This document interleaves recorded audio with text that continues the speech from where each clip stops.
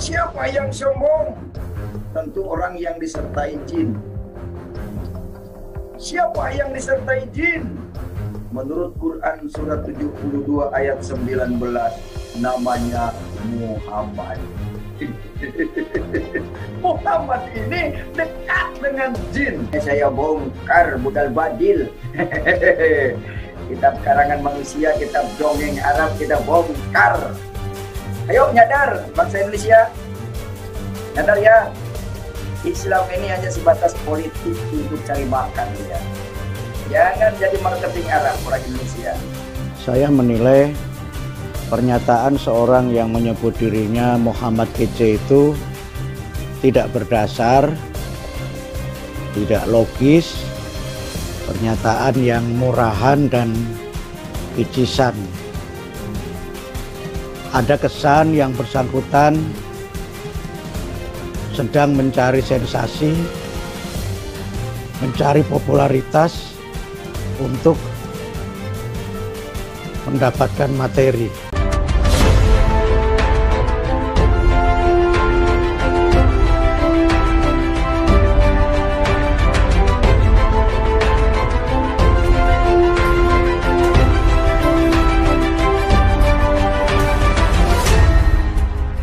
Tonton video ini sampai selesai agar Anda tidak gagal paham.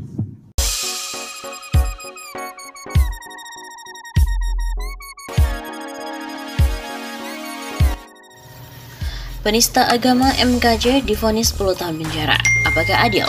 Majelis Hakim Pengadilan Negeri Ciamis menjatuhkan vonis 10 tahun penjara kepada Muhammad Kosman alias MKJ atas kasus penistaan agama. Sama-sama kita saksikan sidang yang melalui perjalanan panjang akhirnya majelis hakim menjatuhkan dengan pidana hukuman maksimal penjara 10 tahun setelah memperhatikan segala fakta yang terungkap dari hasil persidangan baik dari saksi dan ahli, barang bukti dan keterangan dari terdakwa. Jelas Hakim Pengadilan Negeri Ciamis, Arpisol kepada awak media pada Rabu 6 April.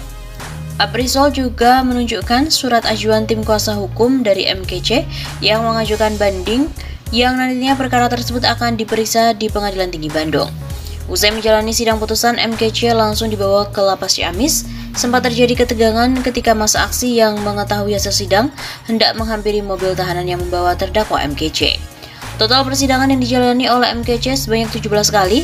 MKC dikenakan pasal 14 ayat 1 Undang-Undang RI nomor 1 tahun 1946 tentang peraturan hukum pidana jungto pasal 64 ayat 1 KUHP.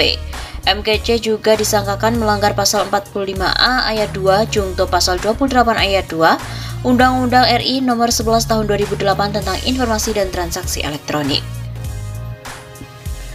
MKC sendiri yang merupakan terdakwa kasus penistaan agama telah difonis 10 tahun penjara oleh Pengadilan Negeri Ciamis Rabu 6 April. Saat mengawali persidangan, MKC mengaku sedang mengalami gangguan sakit ginjal namun ia mengatakan siap mengikuti persidangan dan difonis 10 tahun penjara. Selama persidangan, ratusan anggota ormas dan santri menunggu di luar beserta dengan sejumlah tokoh masyarakat. Selain dari Ciamis, kumpulan orang-orang itu berasal dari Tasikmalaya, Banjar, Kuningan, Sumedang, Garut, dan daerah lainnya. Selain itu, sejumlah kelompok umat Islam dari beberapa pondok pesantren di Priangan Timur turut melakukan aksi di Pengadilan Negeri Ciamis. Mereka ingin mengawal sidang vonis MKC yang merupakan terdakwa kasus penistaan agama dan mendapatkan perhatian publik. Aparat gabungan, polisi, TNI, dan Satpol PP Ciamis ikut mengawal aksi ini. Sebelumnya, aksi kelompok ini rutin demi mengawal sidang dari MKC sendiri. MKC alias Kosman bin Sunet difonis sesuai dengan tuntutan jaksa penuntut umum. Kabar terbaru menyatakan kuasa hukum MKC, Komarudin Simanjuntak menyatakan kliennya sedang berpikir-pikir untuk melakukan banding.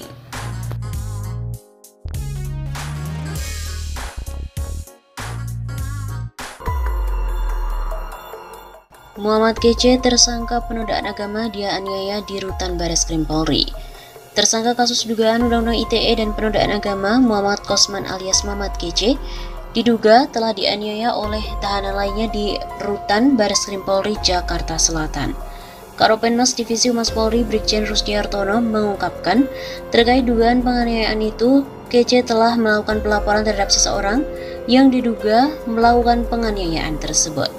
Pada tanggal 26 Agustus 2021, Baris Krim menerima satu laporan polisi dengan LP nomor sekian Bareskrim atas nama pelapor Muhammad Kosman.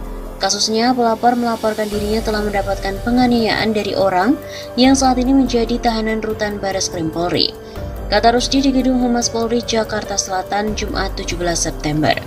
Rusdi menyebut saat ini pihak Baris Krim Polri sedang memproses laporan yang dilakukan oleh MKC tersebut. Penyidik juga telah memeriksa tiga orang saksi terkait dengan kasus itu. Sudah ditindaklanjuti laporan polisi ini dan memeriksa tiga saksi kemudian mengumpulkan alat bukti yang relevan. Muhammad GC ditangkap pada Selasa 24 Agustus malam sekira pukul 19.30 waktu Indonesia Tengah di Banjar Untal-Untal Kutai Utara, Bali. Lokasi itu kata polisi merupakan tempat persembunyian dari MKC. Muhammad KC dijerat dengan pasal sangkaan berlapis terkait dengan pernyataannya yang dinilai telah melukai hati umat beragama. Dalam hal ini ia terancam penjara hukuman hingga enam tahun. Penyidik menjerat pasal dugaan persangkaan ujaran kebencian berdasarkan SARA menurut Undang-Undang ITE hingga penistaan agama. Dan beginilah kondisi MKC di Rutan Baris Krim Polri. Tersangka kasus penodaan agama Muhammad Kosman alias Muhammad KC dikabarkan telah dianiaya oleh tahanan lain di rumah tahanan Baris Krim Polri. Karopenmas Divisi Humas Polri Brigjen Rudi Hastono mengungkapkan kondisi terkini dari MKC. Tersangka kasus dugaan Undang-Undang ITE dan penodaan agama Islam ini dikabarkan masih berada di rutan Baris Krim. Terkait kasus penganiayaan yang dialami dirinya, MKC melaporkan kejadian itu ke pihak kepolisian. Kasusnya adalah pelapor melaporkan bahwa dirinya telah mendapat penganiayaan dari orang yang saat ini menjadi tahanan di Baras Krim Polri. Begitu kata Rusdi.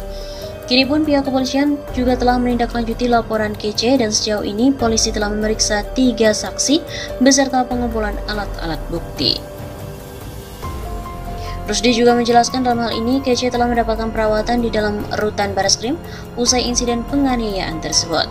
Semua dilayani kesehatannya tetap ada di rutan Bareskrim Polri. Rusdi juga memastikan dugaan penganiayaan terhadap Muhammad Kece itu bakal dituntaskan dan proses hukum sendiri bakal masih terus berjalan. Dan saat ini kasusnya sudah pada tahap penyidikan, tentu penyidik sedang mengumpulkan alat-alat bukti lainnya yang relevan, tentunya untuk menuntaskan kasus tersebut. Nanti dari alat bukti itu akan dilakukan gelar perkara dan akan menentukan tersangka dalam kasus ini. Yang pasti adalah kasus ini telah ditangani oleh kepolisian dan tentu akan dituntaskan sesuai dengan aturan perundang-undangan yang berlaku.